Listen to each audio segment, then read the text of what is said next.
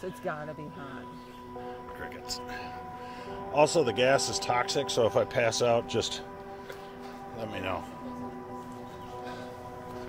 Oh, yeah, you can feel it. Wow. Wow. So, down in here, and you can really feel it, and is a fire that's going to be burning for the next 400 years.